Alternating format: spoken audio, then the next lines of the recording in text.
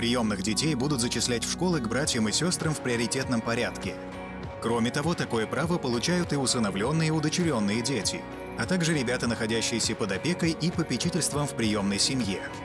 Право преимущественного приема касается дошкольного, начального, основного и среднего общего образования. Исключением станут случаи, когда поступление на обучение проводится на конкурсной основе.